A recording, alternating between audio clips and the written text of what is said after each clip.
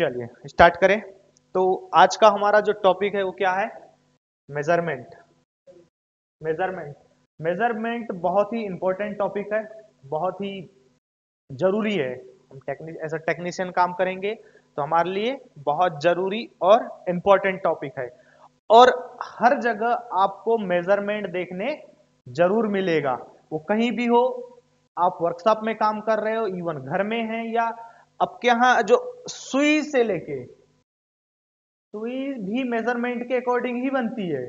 सुई हो, या फिर आप टाइटेनिक प्लेन को देखें, सुई से लेके जो स्पेस तक जाते हैं रॉकेट्स टाइटेनिक तक की, सब में मेज़रमेंट ही आता है। आप जैसे किसी भी, ये जैसे डिस्प्ले है, ये डिस्प्ले भी मेज़रमेंट पे ही है है ना? नहीं तो आपको क्या लगता है कि हम एक ही जगह पर सब काम कर लेते होंगे क्या? नहीं करते ना। जैसे इतना बड़ा एक रॉकेट बन रहा है तो रॉकेट एक ही जगह पर बन जाता है क्या? नहीं बनता है। या प्लेन बन रहा है, कुछ भी एक ही जगह पर नहीं बनता है। सबके पार्ट्स क्या होते हैं? असेंबल होते हैं। असेंबल होते हैं ना। तो असेंबल होते हैं तो और वो एक दूसरे से फिट क्यों होते हैं? क्या रीजन है? फिट होने के लिए। मेज़रमेंट, क्योंकि उसमें सभी का मेज़रमेंट हम देते हैं उनको। उनको बोलते हैं, भैया, आपको इस मेज़रमेंट के अकॉर्डिंग बनाना है। ठीक है? उसके ही वजह से वो पार्ट एक दूसरे से फिट होते हैं। होते हैं ना? टाइटेनिक में देखा है? टाइटेनिक जो टाइटेनिक प्लेन था, वहाँ पर भी वो मेज़रमेंट लेके ही फ़ोटो बना रहा था। देखा नहीं देखा। तो उसकी फ़ोटो देखने के लिए क्या हुआ? वो लोग देखते रह गए। कौन? जो पायलट था वो उसका मेज़रमेंट देखते रह गए फ़ोटो बना रहा था तो। अपने रोल्स एंड रिस्पॉन्सिबिलिटी को समझे नहीं और टकरा दिए। काय में आइसबर्ग में टकरा दिए। टूट गया प्लेन नहीं बात समझे मेरी? मैं तुम्हारे को जो बोल रहा हूँ ना, अभी हाथ जोड़ जोड़ के पढ़ लो दादा मेज़रमेंट पढ़ लो पढ़ लो। ऐसे ही तुम फिर कभी ना जॉब वाले के पास जाओगे। अभी मैं भीख मांग रहा हूँ दादा देख लो देख लो देख लो। फिर तुम जॉब वालों के पास जाओगे। जॉब दे दे जॉब दे दे। मैं तेरे वास्ते नाचा जॉब दे दे। ऐसा नहीं देगा वो, अगर नहीं पढ़ोगे तो मैं बता रहा हूँ। इसलिए मेज़रमेंट पढ़ना बहुत ज़्यादा ज़रूरी है। हर हर चीज़ मेज़रमेंट के अकॉर्डिंग ही बनती है। मेज़रमेंट जो है, मापन जो है, क्या है? प्रैक्टिकल साइंस और टेक्नोलॉजी का एक बेसमेंट है। मेज़रमेंट प्रैक्टिकल ही, यानी प्रयोगात्मक विज्ञान और प्रौद्योगिकी का आधारभूत है। मेज़रमेंट अगर मेज़रमेंट नहीं होगा ना तो नहीं हो पाएगा कुछ काम। इधर उधर थोड़ा भी इधर उधर हुआ। जैसे मेज़रमेंट में यदि आपने कुछ चीज़ थोड़ा बड़ा बड़ा बना दिया हमने दिया था टॉलरेंस जोन के अकॉर्डिंग दिया था आपको, उससे आगे या कम या ज़्यादा बना दिया तो क्या होगा? उससे ये होगा कि वो उसमें फिट नहीं होगा पार्ट क्या हो जाएगा? डिफेक्टिव हो जाएगा, फेंक दिया जाएगा प्रोडक्ट की कास्ट बढ़ेगी, ठीक है ना? यदि इफ़ एनी केस उसमें ज़बरदस्ती फिट करोगे तो क्या होगा? फ्रिक्शन जनरेट होगा फ्रिक्शन की वजह से इफिशियंसी उसकी कम हो जाएगी। तो मेज़रमेंट मेरा कहने का मतलब है कि आप जो भी आज अपने आसपास देख रहे हैं, कुछ ना कुछ, बहुत कुछ चीज़ें मेज़रमेंट की वजह से ही हम इतने ज़्यादा आगे बढ़े हैं और आगे बढ़ेंगे और जितना ज़्यादा प्रिसाइज होगा, उतना ही ज़्यादा हम आगे बढ़ेंगे। तो सबसे पहली डेफिनेशन हम देखते हैं कि मेज़रमेंट क्या है। बिल्कुल सही है, तुम्हारे दिमाग में आ रहा होगा कि मेज़रमेंट किसी चीज़ को मेजर करना, कितना मोटा, कितना बड़ा, कितना लंबा, है ना? उसकी विथ क्या थिकनेस क्या? उसी को हम क्या बोलते हैं? किसी का भी साइज़ मापने, कोई हम मेज़रमेंट बोलते हैं। बट को थोड़ा सा हम टेक्निकल लैंग्वेज में पढ़े तो किसी भी भौतिक राशि के मान ज्ञात करने के लिए जो क्या है, एक स्टैंडर्ड मान से उसकी तुलना करना ही क्या कहलाता है? मेज़रमेंट कहलाता है। ये चीज़ को, ये डेफिनेशन को थोड़ा याद रखें। किसी भी भौतिक राशि का मान ज्ञात करने के लिए किसी मानक किसी मानक से उसकी तुलना करना क्या कहलाता है? मापन कहलाता है मेज़रमेंट कहलाता है। और हमारी आम लैंग्वेज में किसी वस्तु का पार्ट की मोटाई, लंबाई, चौड़ाई ज्ञात करने को क्या बोलते हैं? उसके साइज़ को मापन कहते हैं। ठीक है, ये तो याद रहेगा ना? मेज़रमेंट की डेफिनेशन थोड़ी समझ में आई। उसके बाद क्या बोलते हैं? अब मेज़रमेंट कोई बोला है ना यहाँ पर, भौतिक राशि। भौतिक राशि। अब भौतिक राशि क्या होती है? भौतिक राशि ऐसी जिस कर सकते हैं, संख्यात्मक रूप से प्रदर्शित दर्शा सकते हैं और उसको प्रत्यक्ष रूप से मापा जा सकता है। यहाँ लिखा है, ऐसी राशियाँ जिन्हें हम एक संख्या द्वारा दर्शा सकते हैं और प्रत्यक्ष रूप से मापा जा सकता है। उसको क्या बोलेंगे हम? भौतिक राशियाँ। जैसे कि लंबाई, लेंथ हुआ, मास, ताप, चाल, बल, ये सब क्या होंगे हमारी? भौतिक राशियाँ मतलब फ़िज़िकल फिजिक फ़िज़िकल क्वांटिटी समझ गए? उसके बाद हम बात करते हैं मात्रक क्या होते हैं। मात्रक क्या होते हैं? किसी भी भौतिक राशि को मापने के लिए निर्धारित किए गए स्टैंडर्ड वैल्यू को, किसी भी भौतिक राशि को मापने या तोलने के लिए निर्धारित की गई स्टैंडर्ड वैल्यू को उस भौतिक राशि का मात्रक कहा जाता है। ये याद रखना है आपको। किसी भी भौतिक राशि, ये भौतिक राशि को मापने, तोलने के लिए निर्धारित की गई स्टैंडर्ड वैल्यू स्टैंडर्ड वैल्यू को उस भौतिक राशि का मात्रक कहते हैं। उदाहरण के लिए मीटर, लीटर, किलोग्राम, आदि आदि आदि। और भी बहुत सारे होते हैं। ठीक है? तो ये तीन चीज़ की डेफिनेशन थोड़ा सा ध्यान में रखना है अपने को। ओके हम नेक्स्ट चलते हैं कि भाई, हमारी यूनिट्स कितने टाइप की होती हैं? ठीक है? यूनिट कितने टाइप की होती है? तो हमारी जो यूनिट्स होती हैं, वो दो टाइप की होती हैं बेसिकली कौन सी कौन सी? फंडामेंटल यूनिट फंडामेंटल यूनिट और डेराइव्ड यूनिट फंडामेंटल को ही बोलते हैं हम क्या? मूल मूलभूत इकाई या इकाइया। क्या बोलते हैं हिंदी में? मानक इकाई। ठीक है? मानक इकाई और जो डिराइव्ड यूनिट को होते हैं वित्तपन वित्तपन वित्तपन इकाई। वित्तपन मतलब इकाई। ठीक है? वित्तपन इकाइयाँ मतलब डिराइव्ड ठीक है? ये आपने याद रखना है कि हमारी जो यूनिट्स होती हैं दो टाइप की होती हैं फंडामेंटल और डिराइड यूनिट तो अब हम सबसे पहले बात करते हैं कि फंडामेंटल यूनिट्स क्या होती है। ठीक है? तो फंडामेंटल यूनिट्स उन मात्रकों का उपयोग जिसमें मूल राशियों के लिए किया जाता है। उन्हें जिनमें, जिन मात्रकों का उपयोग मूल राशियों के लिए किया जाता है। उनको ही हम क्या बोलते हैं? मूलभूत इकाइयाँ बोलते हैं। मूलभूत इकाइयाँ जैसे कि क्या होती हैं? लंबाई, द्रव्यमान और समय। और हमारी सात फंडामेंटल इकाई होती है। ठीक है? लेकिन देखो, इसकी डेफिनेशन याद रहे ना रहे, ये याद रखना ज़रूरी है कि फंडामेंट यूनिट्स कितने टाइप की होती हैं? ये दो टाइप की याद रखना ही रखना है ठीक है? इसकी आई थिंक यूनिट की डेफिनेशन पता चल गई। अब हम फंडामेंटल इकाइयाँ कौन सी कौन सी होती हैं? उनको देखते हैं। हमारे पास सात फंडामेंटल इकाइयाँ हैं। ठीक है? वो देखते हैं हम कौन सी कौन सी हमारी फंडामेंटल इकाइयाँ है। तो हमारे पास ये है सात फंडामेंटल इकाइयाँ। कौन सी कौन सी? सबसे पहले आपको तो तीन याद रखनी रखनी है। कौन सी? टाइम ये तीन को बहुत अच्छे से याद रखना है क्योंकि इसी के बेस पे हमारे डायमेंशनल फॉर्मूले बनते हैं। विमी सूत्र जिसको बोलते हैं। एमएलटी का नाम सुना होगा ना आप लोगों ने? एमएलटी एमएलटी हर जगह डायमेंशनल फार्मूला अगर आप साइंस बैकग्राउंड से हैं तो सुना होगा अदरवाइज़ नहीं सुना होगा। ठीक है? तो इसको जब हम डायमेंशनल फार्मूला बना की बहुत मदद मिलेगी हमारे को, इनसे। ठीक है? तो हमारे जो फंडामेंटल में से तीन तो पता चल गई। लेंथ मास टाइम एक होता है टेम्परेचर तापमान। ठीक है? एक होता है करंट एक होता है amount of substance amount of substance मतलब पदार्थ की मात्रा और एक ल्यूमिनस इंटेंसिटी ल्यूमिनस इंटेंसिटी मतलब ज्योति की तीव्रता। ज्योति की तीव्रता, ठीक है? अब ज्योति की तीव्रता, इनका अब ये समझिए, देखिए, लंबाई का मात्रक क्या होती है? ऐसा यूनिट याद रखना है हमेशा, इसको बहुत अच्छे से याद रखना है। लंबाई की क्या होती है? मीटर, ठीक है? मीटर, और इसको सिंबल इसका क्या होता है? एम द्रव्यमान की किलोग्राम किलोग्राम हाँ। किलोग्राम हाँ वही केजी, किलोग्राम, केजी लिखते हैं इसको। इसका शॉर्ट फॉर्म में ये होता है। टाइम समय का, समय बोलते हैं इसको हिंदी में। इसका सेकेंड इसका सेकेंड ही लिखते हैं। इसको एस से दर्शाते हैं।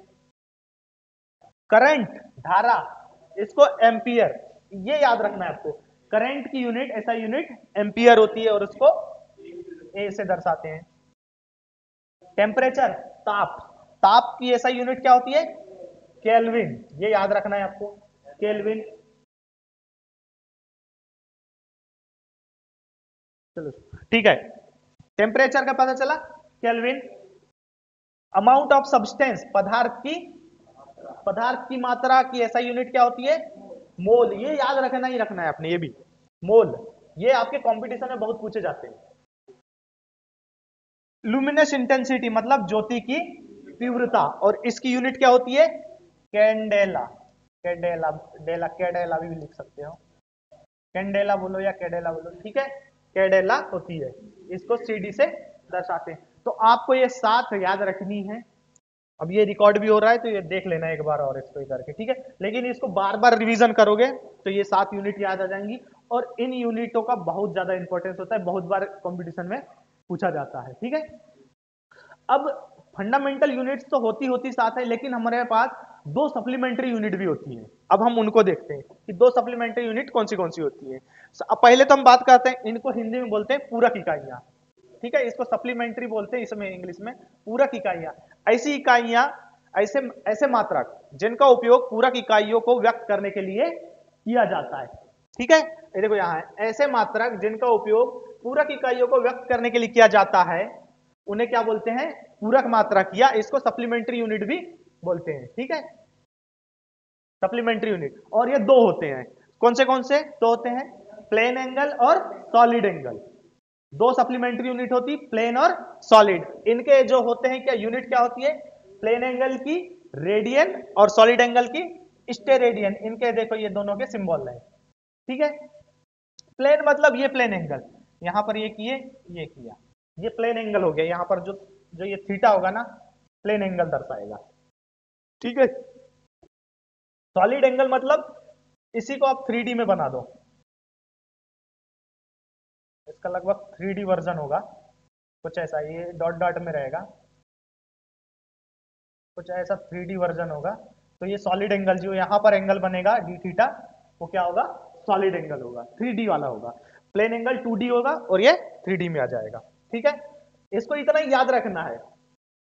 क्या होता है? अभी हम इनका बहुत लंबाई में और बहुत सारी यूनिट पढ़ेंगे ठीक है? मैं आगे वाले लेक्चर में बताऊँगा इनके बारे में कि रे, ए, रेडियन में कितना होता है क्या होता है वो सब पढ़ेंगे हम आगे ठीक है? नेक्स्ट देखें। अब हम बात करते हैं कि सिस्टम ऑफ़ यूनिट कितनी होती है। हमने यूनिट्स को कुछ सिस्टम में डिवाइड किया हुआ है ठीक है? तो सिस्टम ऑफ़ यूनिट चार सिस्टम्स देखे हमने।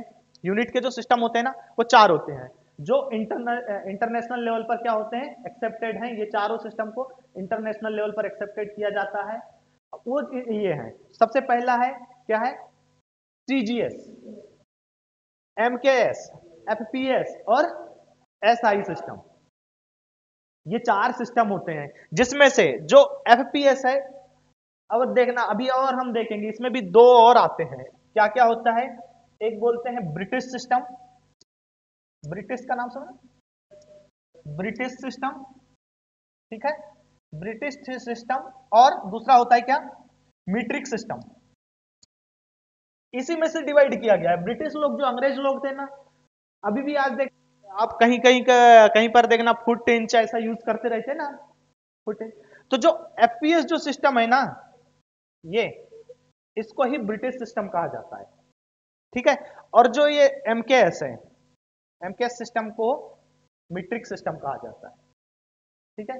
यानी इस ये जो सिस्टम था, ये लोग, ब्रिटिश लोग यूज़ करते थे और ये अब जो मीट्रिक सिस्टम है, वैसे अब ये इंटरनेशनल लेवल पर यही यूज़ किया जाने लगा है। जो आईएसओ एसआई सिस्टम होता है और जो आईएसओ सिस्टम होता है, वो आजकल यही हो गया है, ये वाला। ठीक है? ये। तो इसको यूज़ किया जाने लगा है। ठीक? सीजीएस सिस्टम में हम देखते हैं कि किस किस, वो जो मैंने तीन इकाई जो तीन जो यूनिट्स बताया था ना तुम्हारे को, जो जो ये थे, हमारी फ़िज़िकल क्वांटिटीज भौतिक इकाइयाँ सॉरी भौतिक राशियाँ तो उन्हीं से लेके बनाए सीजीएस मतलब ये सी से सी वाला लेंथ दर्शाएगा, ये मास दर्शाएगा और ये टाइम सीजीएस मतलब सेंटीमीटर सेंटीमीटर सेंटीमीटर मतलब किसके लिए? लेंथ की। सीजीएस सिस्टम में लेंथ की इकाई क्या होती है? सेंटीमीटर। मास की क्या होती है? ग्राम। ठीक है? और टाइम की सेकेंड। टाइम की ना कोई भी सिस्टम हो यूनिट एक ही रही है। वो है सेकेंड। एमकेएस में क्या होता है? मीटर। लेंथ के लिए आ, मास के लिए क्या होती है? मास के लिए किलोग्राम है। ठीक है? मास के लिए किलोग्राम है। और इसके लिए सेकेंड वो तीन यूनिट याद रखना है हमेशा। एफपीएस में एफपीएस में एफ़ फुट इसमें अलग अलग कई डबल भी लिखते हैं। पाउंड ठीक है? पाउंड मतलब मास के लिए और ये सेकेंड टाइम का सेकेंड ये लेंथ के लिए, लंबाई के लिए, ये मास के लिए और ये टाइम के लिए याद रखना है, नहीं तो तुम और एसआई में जो ये वाली यूज़ होती है, वही होती है। ठीक है?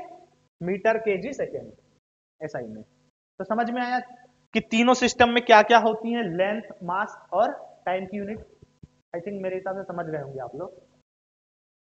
Okay okay. ये समझना थोड़ा ज़रूरी है, क्योंकि बहुत ही इंपॉर्टेंट टॉपिक है भाई। ठीक है? अब हम बात करते हैं फंडामेंटल यूनिट जो हो गई। फंडामेंटल यूनिट के बाद जो हम अब हम हमने पहले यूनिट देखे थे फंडामेंटल एक थी और एक डिराइव्ड यूनिट थी। अब हम डिराइव्ड यूनिट के बारे में बात करते हैं। व्युत्पन्न राशियाँ। ऐसी राशियाँ जो दो या दो से अधिक फंडामेंटल यूनिट से मिलकर बनी होती है, वो क्या कहलाएँगी? व्युत्पन्न राशियाँ डिराइव्ड यूनिट कहलाएँगी मेरे हिसाब से। और ये राशियाँ एक दूसरे से स्वतंत्र नहीं होती। क्यों? क्योंकि इनके साथ फंडामेंटल यूनिट्स मिली होती हैं। ठीक है? देखो वे मात्रक जो एक दूसरे से स्वतंत्र नहीं होते तथा मूल मात्रकों से ही प्राप्त किए जाते हैं। और उसमें क्या होंगे? दो या दो से अधिक मूल मात्रक फंडामेंटल यूनिट्स क्या होंगी? दो या दो से अधिक होंगी। वही क्या कहलाती है? व्युत्पन्न मात्रक। डिराइव्ड यूनिट्स कहलाती है। ठीक है? डिराइव्ड यूनिट्स कहलाती है। व्युत्पन्न मात्रक कहलाते हैं। ठीक है? उदाहरण के लिए क्या? क्षेत्रफल, बल, कार्य, चाल, त्वरण, ये वेग, आयतन, ये सब क्या है? जितने भी डेंसिटी हो गया, ये प्रेशर हो गया, सब क्या कहलाती हैं? व्युत्पन्न राशियाँ। जो भी राशि क्या होगी? फंडामेंटल से मिलकर बनी होगी। उसमें दो या दो से अधिक फंडामेंटल यूनिट्स होंगी। जैसे क्षेत्रफल की बात कर रहे हैं एरिया बोलते हैं जिसको। एरिया में क्या है? दो फंडामेंटल यूनिट है। एरिया क्या है? टू होता है। होता है ना? जैसे कोई ये चौकोर चीज़ है। इसका हमको एरिया निकालना है। एरिया निकालना है तो दो चीज़ चाहिए होगी ना हमारे को? लेंथ चाहिए होगी, यानी लंबाई और चौड़ाई चाहिए होगी, है ना विथ तो जब एरिया में लेंथ भी मीटर में ये भी मीटर में मतलब metre into metre is equal to metre का स्क्वायर बात समझ पा रहे हैं मेरी? कि कैसे हम डिराइव यूनिट बनाते हैं? अभी मैं सबका बता रहा हूँ तुम्हारे को, कैसे कैसे बनाते हैं। मेन चीज़ ये समझो, थोड़ा सा ये इंपॉर्टेंट है, आते हैं। जो फोर्स होता है फोर्स भी एक डिराइव यूनिट है। इसकी जो एसआई यूनिट होती है ना, ये याद रखना है बहुत अच्छे से। फोर्स की एसआई यूनिट न्यूटन होती है। सबको याद रखना है, ठीक है? और जो ये वर्क है वर्क की ऐसा यूनिट क्या होती है? जूल ठीक है? इसके ऐसा यूनिट बट सीजीएस में भी कभी कभी देखना सीजीएस में फोर्स की डाइन होती है और वर्क की अर्ग होती है। तो इसका थोड़ा सा मैंने रिलेशन दे रखा है कि एक न्यूटन में दस की घात पाँच डाइन होते हैं। ठीक है? इसको थोड़ा सा याद रख लेना आप। और एक जूल में कभी कभी पूछा जाता है एक जूल में दस की घात सात अर्ग होते हैं। ये चीज़ें याद रखनी पड़ेंगी आपको। अब कैसे याद रखते हो? तुम्हारी दिखाई दिखाइए बट ये याद रखना पड़ेगा। बार बार जब रिपीट करोगे ना रिपीटेशन रिपीटेशन होगा तो याद हो जाएँगे। कोई दिक्कत नहीं है इसमें। याद रखना पड़ेगा लेकिन। इसको देखिए। अब देखिए कि यहाँ से क्षेत्रफल का मैंने बताया। अब फोर्स की यूनिट कैसे बनती है? फोर्स क्या है? एक्चुअल में फोर्स जो है, वो क्या है? एक्सलरेशन और मास का मल्टीप्लिकेशन है। एक किलोग्राम मास को यदि एक मीटर पर सेकेंड के स्क्वायर से एक्सलरेट किया गया तो वो क्या कहलाएगा? एक न्यूटन फोर्स कहलाएगा। एक केजी मास हो गया इंटू एक मीटर पर सेकेंड के हिसाब से उसको क्या किया गया है? एक्सलरेट कराया गया है। यही क्या हो जाएगा हमारा? फोर्स हो जाएगा। तो फोर्स बराबर क्या होता है? एम ए पढ़ा होगा? फोर्स बराबर कहीं भी? एम ए पढ़ा है? एम क्या है? मास है। अरे सेकेंड लॉ ठीक है? और ए क्या है? एक्सलरेशन है। तो फोर्स से यहीं से बना है। तो इसको हम क्या लिख सकते हैं? केजी मीटर पर सेकेंड का स्क्वायर लिख सकते हैं? यही न्यूटन है। अगर इसी को कोई बोले कि एक न्यूटन बराबर कितना होता है तो इसको हम केजी मीटर सेकेंड का स्क्वायर लिख सकते हैं। एक मिनट, यहाँ नज़र नहीं आ रहा होगा। मैं थोड़ा इस पे दिखाऊँ ब्लैक बोर्ड पे। यहाँ दिखाऊँ। ठीक है? यहाँ पर दिखेगा अच्छे से। एफ़ बराबर एम ए पढ़ा है। ए में पढ़ा है ना? यहीं से बनता है। एफ़ बराबर एम हो गया क्या? मास को केजी में करेंगे हम। और ए मतलब क्या होता है? त्वरण। त्वरण मतलब त्वरण मतलब एक्सलरेशन एक्सलरेशन एक्सलरेशन होता है ना? और हम त्वरण की यूनिट क्या होती है? मीटर पर सेकेंड का स्क्वायर होती है ना? इसी को हम फोर्स ये फोर्स है हाँ? याद रखना। के जी मीटर सेकेंड का स्क्वायर। इसी को हम बोलते हैं न्यूटन। तो यदि कहीं एक न्यूटन बराबर कभी कोई पूछे तो केजी मीटर पर सेकेंड का स्क्वायर। एक न्यूटन बराबर एक इतना होता है, ये रिलेशन आपने याद रखना है। ठीक है? ये रिलेशन याद रखेंगे तो क्या होगा पता है? अब देखो, मैं यहाँ लिखता हूँ। एक न्यूटन बराबर एक केजी मीटर पर सेकेंड का स्क्वायर होता है। अब कोई बोले कि बल का जो बल है ना, उसका आपको विमी सूत्र बताना है तो आप आराम से इससे बता सकते हो। कैसे? केजी का क्या होता है? एम होता है। विमी सूत्र एमएलटी से हम दर्शाते हैं ना। एम एल टी ऐसा दिखाते हैं ना। इससे मैं थोड़ा सा विमी सूत्र बताने की कोशिश कर रहा हूँ।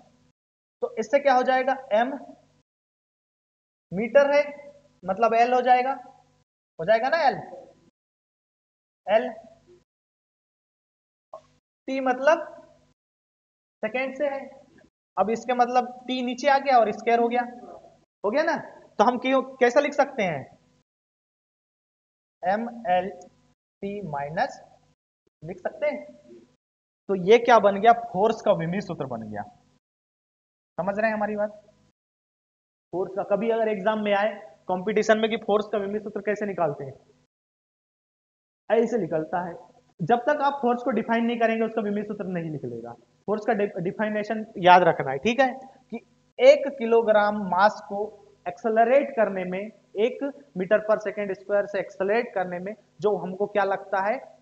तो ये लगता है, जो ताकत लगती है उसी को हम क्या बोलते हैं? एक न्यूटन बोलते हैं। जो फोर्स लगता है, जो ताकत लगती है उसी को हम क्या बोलते हैं? एक न्यूटन बोलते हैं। ये याद रखना है आपको। ठीक है? और एक न्यूटन बराबर 9.81 के जी एफ़ भी होता है, किलोग्राम फोर्स। ये भी याद रखना है आपको। ओके? इतनी चीज़ें ये जो हैं, ये आपको याद रखनी ही रखनी है। इस चीज़ को याद रखोगे तो बहुत चीज़ें बन जाएँगी। अभी जैसे मैं आप लोगों को बता रहा हूँ, जैसे कि अपन यहाँ थे अब यहाँ का जो भी है यदि आपको इनकी डेफिनेशन पता होगी ना,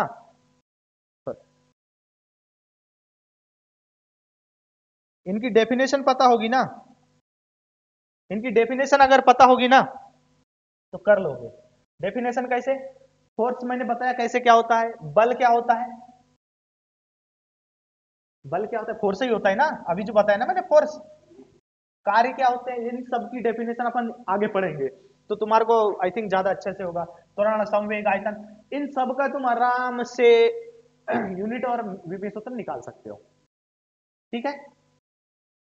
समझ में आया क्या थोड़ा बहुत? थोड़ा बहुत आया होगा। फिर से ये करके देख लेना इसको। नेक्स्ट चले हम। या विमी सूत्र इनका निकाल के बताएँ हम तुम्हारे को? किसी एक का? चलो हम तुम्हारे को प्रेशर का विमी सूत्र निकाल के बताता हूँ मैं तुम्हारे को। प्रेशर का। कैसे निकलता है? ठीक है? हम लोकल वाला कर लेते हैं यूज़ प्रेशर जो होता है प्रेशर की डेफिनेशन क्या है? दाब की डेफिनेशन क्या है? कि कोई भी लिक्विड अगर क्या लगाएगा? प्रेशर लगा यानी फोर्स लगाएगा तो सभी डायरेक्शन में समान लगाएगा, ठीक है? फोर्स लगाएगा। तो फोर्स प्रेशर की डेफिनेशन होती है फोर्स अपॉन एरिया ठीक है? इसको हिंदी में बोलेंगे बल बटा क्षेत्रफल। ठीक है? हाँ क्षेत्रफल, ये याद रखना पड़ेगा। अब देखो, इसकी यूनिट कैसे निकालते हैं समझो। अब हमारे को पता है बल क्या होता है। पता है ना? अभी मैंने तुमको बताया था। बल क्या होता है? एम ए एम ए याद रखना है। एम मतलब मास ए मतलब एक्सेलरेशन तो हम लिख दो एम ए लिख दो, चलो यहाँ अपन। क्षेत्रफल क्षेत्रफल इसके पहले बताया था। ए, ठीक है, ये लिख दिया। अब मैंने एम ए को तोड़ के बताया था। एम ए को तोड़ के बताया था तो क्या बताया था एम ए में? तोड़ के बताया था तो क्या होता है एम ए यानी के जी एम मतलब इसको हमने बनाया के जी मास है ना? तो इसकी यूनिट क्या होगी? के जी और इसका क्या होगा? मीटर पर सेकेंड का स्क्वायर होगा ना? अपन एरिया के लिए मैंने क्या बताया था? लंबाई इंटू चौड़ाई मतलब मीटर का स्क्वायर हम इसको ऐसा लिख सकते हैं क्या? के जी मीटर अब नीचे सेकेंड ला लेंगे सेकेंड का स्क्वायर और मीटर का स्क्वायर लेकिन ये मीटर से, एक मीटर से एक मीटर कट जाएगा ये स्क्वायर है तो अब क्या क्या बचेगा हमारे पास?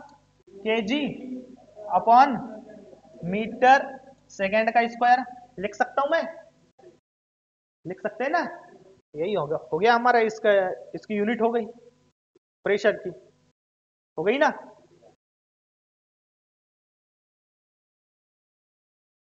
के जी मीटर सेकेंड का स्क्वायर अब इसको तुम ये भी लिख सकते हो। के जी के लिए क्या यूज़ करते हैं हम? एम बड़ा एम करना इसको। ठीक है? एम इसके लिए एल इसके लिए? टी का टू तो हम इसको ऐसा लिख सकते हैं। एम एल इनवर्स टी का माइनस टू ये बन गया हमारा विमी सूत्र प्रेशर का। कभी कोई पूछेगा तो। और यदि इसकी यूनिट निकालना है तो यहीं से डायरेक्ट निकल जाएगी। बल की यूनिट क्या होती है? न्यूटन क्षेत्रफल की यूनिट क्या होती है? मीटर का स्क्वायर एक ये भी यूनिट होती है, एक पास्कल पास्कल भी यूनिट होती है। इसकी यूनिट पास्कल भी होती है प्रेशर की। इसकी यूनिट बार भी होती है, ये याद रखना है आपको, ठीक है? पास्कल भी होती है और बार भी होती है। न्यूटन और ऐसा यूनिट ये होगी आपकी न्यूटन मीटर का स्क्वायर ये याद रखना है आपको ऐसा यूनिट है ये, ठीक है? ये ऐसा यूनिट है। ये आपने याद रखना है। अगर कोई इसका बोले विमी सूत्र निकालना है तो ऐसे ऐसे तोड़ के विमी सूत्र निकाल सकते हैं। कोई भी, और विमी सूत्र याद करना अपने आप में बहुत बड़ा टास्क है। अगर कभी एग्ज़ाम में आ जाता है, और जो भी इसरो विसरो की तैयारी कर रहे हो आप लोग, या किसी अच्छे से एग्ज़ाम की तो पूछ लेता है। कभी कभी एक नंबर का पूछ लेता है, बहुत आसान है तो मेरे हिसाब से यहाँ से आप बना सकते हो। बना सकते हैं ना? आई आई थिंक सो और आगे और समझाऊँगा मैं। कोशिश करेंगे अपन इसमें करने की। ठीक है? तो ये हो गया। अभी इसमें हर चीज़ की डेफिनेशन हर चीज़ की डेफिनेशन से आप क्या कर सकते हो? बिंदु सूत्र निकाल सकते हो और उसका इकाई भी निकाल सकते हो। यूनिट क्या होगी वो भी निकाल सकते हो। ठीक है? ओके अब हम चलते हैं नेक्स्ट बहुत टाइम हो जाएगा नहीं तो। नेक्स्ट क्या है? कुछ कुछ यूनिट्स हैं जो एग्ज़ाम में पूछी जाती है। इंपॉर्टेंट यूनिट्स हैं किस किस के लिए? लंबाई के लिए, द्रव्यमान के लिए और टाइम के लिए, समय के लिए। तो आपको ये याद रखनी है। देखो, सबसे बड़ी जो लंबाई की यूनिट होती है क्या? पारसेक ये आपको याद रखना है। और पारसेक लंबाई की यूनिट है, ये भी याद रखना है। ठीक है? इसका क्या, कितना होता है? 3.08 पॉइंट इंटू ये सब पढ़ लेना आप। इतना इतना होता है। दूसरी यूनिट क्या होती है? लाइट ईयर तीसरी यूनिट एयू यानी एस्ट्रोनॉमिकल यूनिट एयू का फुल फॉर्म है एस्ट्रोनॉमिकल यूनिट और सबको मैंने मीटर में लिख के रखा है हाँ, कौन सा कितना बराबर होता है। तो आप ये पढ़ लेंगे। नॉटिकल मील या सी मील नॉटिकल मील ये अपने यहाँ यूज़ नहीं जब भी समुद्र की लंबा ये नापनी होती है ना समुद्र में जहाज़ कितना चल गया नॉटिकल मील से नापते हैं। ऐसे किलोमीटर से नहीं नापते वहाँ पर ठीक है? माइक्रोन ये याद रखना है भाई आप लोगों को कि एक माइक्रोन में कितने मीटर होते हैं? तो 10 की घात माइनस छ मीटर होते हैं। ठीक है? एक, ये भी याद रखना है एक एंगेस्ट्रॉन्ग इसको एंगेस्ट्रॉन्ग का जो ये होता है ना, वो ऐसा होता है। एंगेस्ट्रॉन्ग का जो सिंबल होता है, वो ऐसा होता है।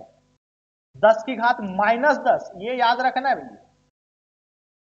दस की घात माइनस दस एंगेस्ट्रॉन्ग बराबर। थोड़ा वीडियो लंबा होगा लेकिन, यानी ये लंबा होगा लेकिन थोड़ा अच्छे से पढ़ लेना इसको, ठीक है? ये बहुत प्रॉफिटेबल होगा, कहाँ पर? मेज़रमेंट के पोर्शन में इसरो इसरो के एग्ज़ाम में। स्पेशल इसरो के एग्ज़ाम को पॉइंट आउट करते हुए और डीआरडीओ इन एग्जामों को पॉइंट आउट करते हुए अपन ने लिए। तो ये लेंथ की एक फर्मी भी होती है। फर्मी भी एक यूनिट होती है, ठीक है?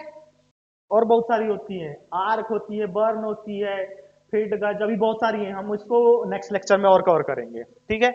जो एकदम आती है मास मास के लिए क्विंटल होती है, आप लोग नापते हैं घर में, सोयाबीन धान, एक क्विंटल में सौ के जी मीट्रिक टन मतलब एक हज़ार के जी ये मास की यूनिट है, द्रव्यमान की। एएमयू एटॉमिक मास यूनिट, ठीक है? डाल्टन टी ओ एन यहाँ पर डाल्टन है टी ओ एन है वो, ठीक है? डाल्टन, ये भी क्या इसकी यूनिट है? मास की एएमयू एटॉमिक मास यूनिट, ठीक है? स्लज स्लज भी मास की यूनिट है, ठीक है? पाउंड ये इनका सब ये याद रखना है आपको कि एक पाउंड बराबर point four five three seven K G के जी है, ध्यान रखें के जी ठीक है? Chandrashekhar limit 2.8 point eight into ten raise to power तीस के जी ठीक है? तो चंद्रशेखर लिमिट भी किसकी यूनिट है? मास की, ये याद रखना है। मास की unit Chandrashekhar limit pound slug M U dalton metric ton और क्विंटल ठीक है? टाइम की तो ये याद ना भी रखे तो चलता है। एक ही याद रखना है तुम्हारे को टाइम की की सेकेंड और आवर बस। सेकेंड मिनट आवर ये याद रहेगी तो बहुत है। फिर भी यहाँ देख लो कि एक सोलर डे में कितने सेकेंड्स होते हैं। एक ईयर में ये लूनार मंथ चाहो तो देखो, बाकी उतनी इंपॉर्टेंट नहीं है। मैंने बस जस्ट बताने के हिसाब से रख दिया है आपके लिए ओके लेकिन ये जो है, ये चीज़ें आपने याद करना ही करना है। ये जो दो यूनिट है ना ये बहुत ही इंपॉर्टेंट है। और ये एग्ज़ाम में पूछी जाती है। देख लेना आप लोग। एक बार और। मैंने तो देख लिया। अब आपकी बारी। ये ये भी बहुत इंपॉर्टेंट है। कुछ परफिक्स प्रत्यय बोलते हैं ना, उपसर्ग और प्रत्यय हिंदी में भी जिसको बोलते हैं। हम यहाँ पर परफिक्स और सफिक्स बोलते हैं इंग्लिश में। हम prefix used in metric system metric system में कुछ परफिक्स यूज़ किए जाते हैं। परफिक्स वो शब्द कहलाते हैं जो किस हिंदी में गए तो अपन, कि जो किसी वर्ड की मीनिंग बदल देते हैं। तो हाँ यहाँ भी वो कुछ वैसा ही केस है। ये परफिक्स इतने इंपॉर्टेंट है कि आपने कहीं लगा दिया तो उसका सब बदल जाएगा। ठीक है? इन परफिक्स को आपने याद रखना ही रखना है। अब कैसे याद रखोगे? मेरे को भी नहीं पता। बार बार रिवीजन करोगे तो याद हो जाएगा। अभी कोई शॉर्टकट मेरे पास पता नहीं, मेरे को भी नहीं पता इसका। जो माइनस वाले परफिक्स हैं वो इस साइड हैं, ये, और कुछ प्लस वाले परफिक्स हैं जो इस साइड है टेन की पावर तो जो माइनस होता है, दस की घात माइनस एक ten raise to power minus one उसको क्या बोलते हैं हम? डेसी उसका सिंबल क्या होता है? डी और उसको ऐसा लिखते हैं। इसको समझने की दृष्टि से मैं बना दे समझने की दृष्टि से ऐसा लिखते हैं। ठीक है? माइनस वन ठीक है? तो अगर वो समझ में ना आ रहा हो तो। डेसी सेंटी ओके तो लाइट गोल होने की वजह से थोड़ा सा चली गई। ठीक है तो इसमें हमने क्या देखे थे कि परफेक्ट हैं जो मीट्रिक सिस्टम में यूज़ होते हैं। तो हमको इनको याद रखना है। ठीक है? परफिक्स हैं जो मीट्रिक सिस्टम में यूज़ होते हैं, इनको हमको याद रखना ये कब काम में आएँगे? जब कभी पावर के हिसाब से अकॉर्डिंग क्वेश्चन आएगा कि जैसे किलो का मतलब क्या होता है? तब में ये आपको काम में आएँगे। किलो का या मिली का मतलब क्या होता है? माइक्रो का मतलब क्या होता है? ठीक है? अभी देखना इससे तुम्हारे को मेमोरी समझने में थोड़ी आसानी होगी। जो मेमोरी होती है ना हमारी मोबाइल की, उसके लिए भी यहाँ पर थोड़ा सा मिलेगा आपको। मेरे को ऐसा लगता है, मेरे हिसाब से। तो जो माइनस में जो यूज़ होते हैं, वो है, ये है। डेसी सेंटी मिली ठीक है? ये देखो डेसी का मतलब क्या होता है? इसकी, इसका सिंबल ये है और इसका पावर जो होता है माइनस वन होता है। ठीक है? और जो ये होते हैं ना, ठीक है? इसका होता है माइनस वन डेसी सेंटी का minus two ten raise to power minus two milli का ten raise to power minus three micro का ten raise to power minus six याद करो माइक्रोन अब आ गया। ये सब मीटर में याद रखना, नहीं तो तुम लोग भूल जाओ। ये मीटर में है सब। ठीक है? सब मीटर में है, क्योंकि लिखा ही हुआ है। मीट्रिक सिस्टम में, मीट्रिक सिस्टम याद करो। एमकेएस एमकेएस याद आया? याद करो वो पल। जब मैंने तुमको बताया था। ये माइक्रोन इसको ऐसा, इसका सिंबल ऐसा होता है, मैंने यहाँ पर ऐसा लिख दिया ठीक है? माइक्रोन का सिंबल ऐसा होता है माइक्रो का। ठीक है? नानो, जो नानो पार्टिकल की बात चल रही है ना नैनो पार्टिकल्स की बात चल रही है, वो यहाँ से ten to power minus nine nano particles कोई ten to power minus nine सोचो, इतना छोटा particle pico ten to power minus twelve femto ten to power minus fifteen मतलब पंद्रह. Atto ten to power minus eighteen zepto ten to power minus twenty one और yocto ten to power minus twenty four. ये minus के हैं। अब plus में भी पूरे इतने ही है। मैंने इतने ही जगह रखा है। वैसे यहाँ के जो इंपॉर्टेंट है ना, वैसे आप फेमटो तक भी याद रखो तो चलेगा, कोई दिक्कत नहीं है। बट आपके नॉलेज के हिसाब से किसी के सामने सीना चौड़ा करके बोलना है तो मेरे को तो और याद है। उसके लिए रख दिया है। एनामिना डीका से स्टार्ट करें। मैं अब ऐसे स्टार्ट करता हूँ प्लस में। याद रखने का स्टाइल मतलब? तो डी का मतलब डेका। डेका है, मैं डीका से सॉरी डेका मतलब ten to power one plus में। Hecto ten to power two kilo kilogram वाला समझते हैं? किलोग्राम अब देखो यहाँ पर किलोग्राम का थोड़ा सा मतलब समझिए। यदि किलो को हटा दिए मतलब इसमें एक हज़ार का डिवाइड कर दिया आपने सीधी बात है। और यदि किलो जोड़ दिया मतलब इसमें एक हज़ार का गुणा कर दिया आपने। ठीक है? किलो का वही से है। Mega ten raise to power six kilo का तीन है हा? ये याद रखना है बहुत इंपॉर्टेंट है मेगा अब यहीं से आपका देखना के बी के बी होता है ना किलो बाइट ठीक है M B mega byte memory होती है इसी वही है GB giga byte ten raise to power nine लेकिन उसका थोड़ा वो के बी में दस सौ चौबीस होते हैं यहाँ पर इतना नहीं होता है हाँ। मैं थोड़ा सा वहाँ से कोशिश कर रहा हूँ कि आप लोग याद रख पाए। टेरा बाइट होता है टीबी तो टेरा दस की घात बारह ठीक है? पेटा आने वाला है अभी अभी तो टीबी तक ही चल रहे हैं पी, पी इससे भी आएगा। पेटा का मतलब टेन रेस टू पावर पंद्रह exa ten raise to power अठारह zetta ten raise to power 21 और yotta ten raise to power 24 ये आपको याद रखना है। मेरे को ऐसे भी, ऐसे पूरे याद हैं बट मैंने यहाँ दिखाने के हिसाब से बता दिया। ठीक है? और अभी तो पार्टी शुरू हुई है। ये तो अभी बहुत कम है। अभी आपको और पढ़ना है इसमें। अभी इससे मैं आगे की क्लास में इसरो से आए हुए क्वेश्चन भी अपन करेंगे। जो क्वेश्चन इसरो में आए हुए हैं और मेज़रमेंट से इसरो डीआरडीओ और एनपीसीआईएल लगभग लगभग मेज़रमेंट से क्वेश्चन पूछता ही पूछता है। और इसरो तो पूछता ही है। तो अगर आपको अगर कभी जहन में है या आपका फेवरेट ऑर्गेनाइजेशन हो इसरो इसरो तो उसके लिए ये चीज़ और जो अभी मेज़रमेंट से रिलेटेड हमने पढ़ा, वो चीज़ पढ़ना बहुत ही ज़रूरी है। ठीक है? तो आज के लिए हम इतना ही रखते हैं। अब नेक्स्ट क्लास में हम देखेंगे। सबकी यूनिट्स को और भी देखेंगे। क्या ठीक है? Okay thank you next class में